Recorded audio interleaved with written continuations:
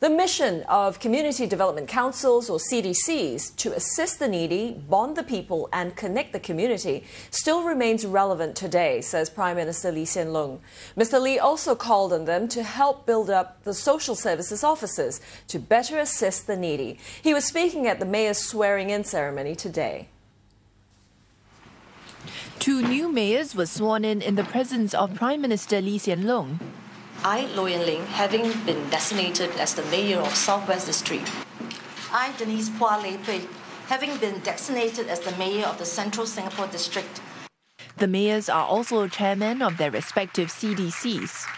The CDC can play the role of a system integrator where the residents' needs are um, identified analyzed and then trying to the CDC can then try to coordinate and see how we can add value to the whole space. We are already in the midst of uh, having uh, conversations with each and every constituency, the grassroots advisors, the grassroots leaders, to better understand the emerging needs on the res- in their respective divisions, and that will allow that will allow us to be better placed uh, to refine our existing programs, all right, and even reposition some of them.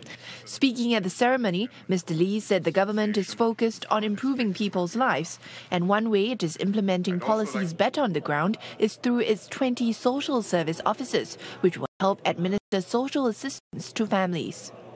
Prime Minister Lee also said that CDCs continue to play an important role in helping to build up and run local programs that complement the social service offices. He also said that CDCs can help to marshal resources from the wider community, including the private sector, voluntary welfare organizations, and volunteers to serve Singaporeans.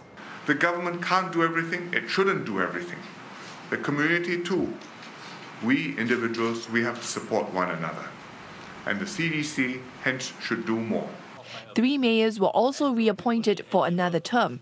Dr. Teo Ho Pin, mayor of the Northwest District, who also takes over as chairman of the Mayor's Committee. Mr. Teo Ser Luck, mayor of the Northeast District, and Dr. Mohamad Maliki Osman, mayor of the Southeast District. Mr. Lee said mayors play key roles in leading the CDCs and called on them to use the next few years well lead the CDCs to meet our changing needs. But always remember the basic ABCs assist the needy, bond the people, and connect the community. And at the same time, continue to explore new ways to work with and to serve a changing population. The new terms will run till May 2017.